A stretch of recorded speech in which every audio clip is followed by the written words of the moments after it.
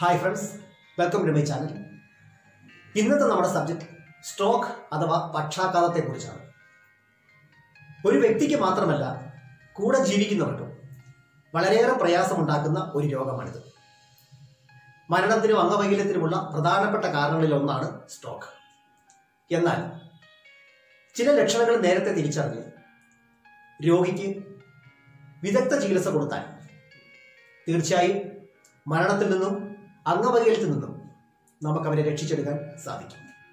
എന്താണ് സ്ട്രോക്ക് അതിന്റെ ലക്ഷണങ്ങൾ എന്തൊക്കെയാണ്? അത് വന്നാൽ ഉടനെ എന്ത് ചെയ്യണം? അതിന്റെ കാരണം എന്താണ്? വരാതിരിക്കാൻ എന്തൊക്കെ ചെയ്യണം? ഇതൊക്കെയാണ് നമ്മുടെ ഇന്നത്തെ വീഡിയോ. അതിനു മുമ്പ് എന്റെ ഈ ചാനൽ നിങ്ങൾ സബ്സ്ക്രൈബ് ചെയ്തിട്ടില്ലെങ്കിൽ താഴെ കാണുന്ന ചുവന്ന സബ്സ്ക്രൈബ് എന്ന വീഡിയോ ക്ലിക്ക് ചെയ്ത് സബ്സ്ക്രൈബ് ചെയ്യുക കൂട്ടുകാർക്ക് ഷെയർ ചെയ്യുക. എന്താണ് സ്ട്രോക്ക് നമ്മുടെ ശരീരത്തിന്റെ എല്ലാ പ്രവർത്തനങ്ങളെയും കൺട്രോൾ ചെയ്യുന്നത് ബ്രെയിന് സ്പൈനൽ കോഡ് ചേർന്നുള്ള പ്രവർത്തനമാണ്. തലച്ചോറിലോട്ടുള്ള രക്തപ്രവാഹം തടസ്സപ്പെട്ട്. കോശങ്ങൾ നശിച്ചു പോകുന്ന അവസ്ഥയാണ് സ്ട്രോക്ക് സ്ട്രോക്ക് രണ്ട് തരമുണ്ട്. ഒന്ന് രക്തം കട്ട പിടിച്ച് രക്തപ്രവാഹം തടസ്സപ്പെടുന്ന അവസ്ഥ ഇസ്കീമിക് സ്ട്രോക്ക് എന്ന് പറയും. എൺപത് ശതമാനം സ്ട്രോക്കും ഇസ്കീമിക് ആണ്.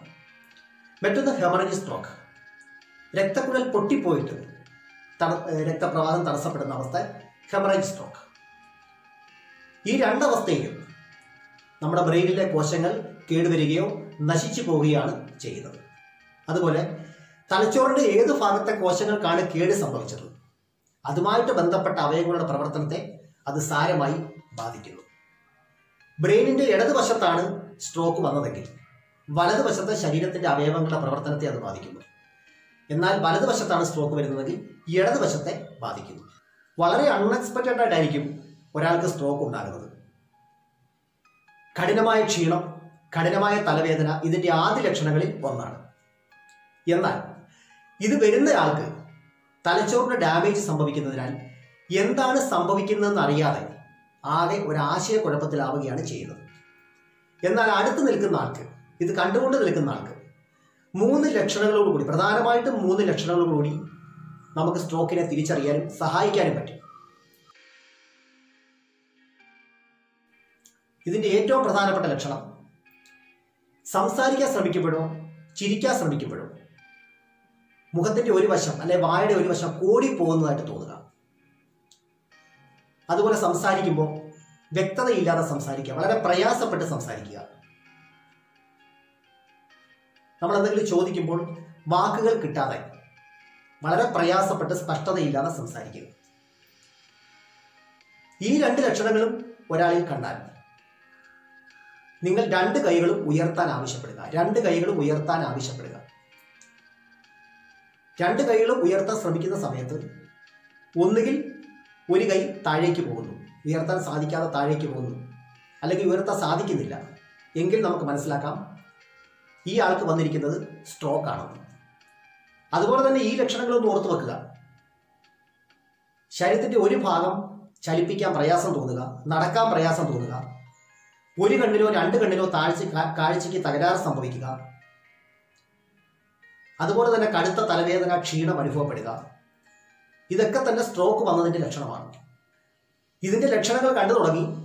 മൂന്ന് നാല് മണിക്കൂറിനുള്ളിൽ രോഗിയെ ഹോസ്പിറ്റലിൽ എത്തിച്ച് ചികിത്സ ലഭ്യമാക്കിയെങ്കിൽ മാത്രമേ വലിയ തളർച്ചയിൽ നിന്നും നമുക്ക് രോഗിയെ രക്ഷപ്പെടുത്തിക്കൊണ്ട് വരാൻ പറ്റത്തുള്ളൂ. മൂന്നാൽ മണിക്കൂറിനുള്ളിൽ ചികിത്സ ലഭ്യമായിരിക്കണം. അതുപോലെ തന്നെ ഈ ഒരു കാര്യം പ്രത്യേകം കൂടെയുള്ളവർ നോട്ട് ചെയ്ത് വെക്കണം.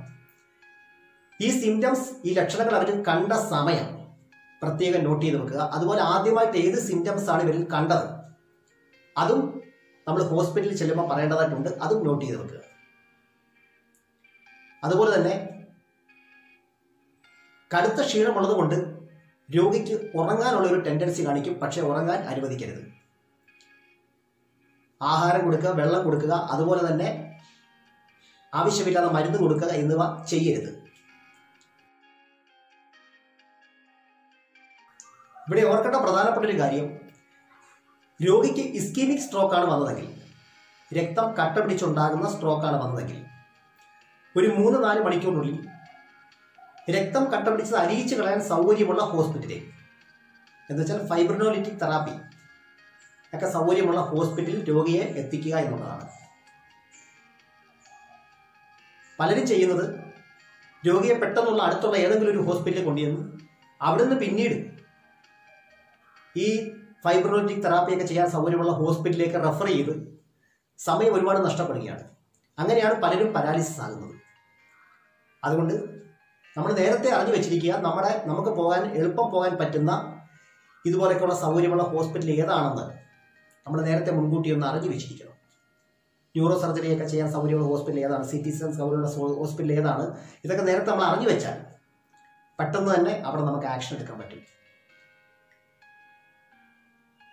ഇതിന്റെ ലക്ഷണങ്ങൾ കണ്ട് കഴിഞ്ഞ ശേഷമുള്ള ഓരോ നിമിഷവും രോഗിയെ സംബന്ധിച്ച് വളരെ സങ്കീർണമാണ്.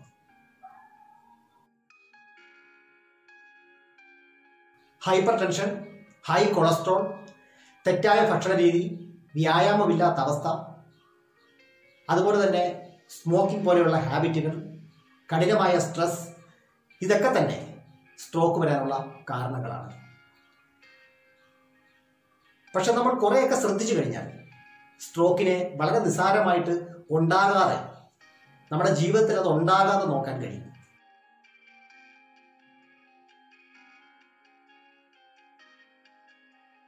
ഭക്ഷണത്തിൽ ശ്രദ്ധിക്കുക.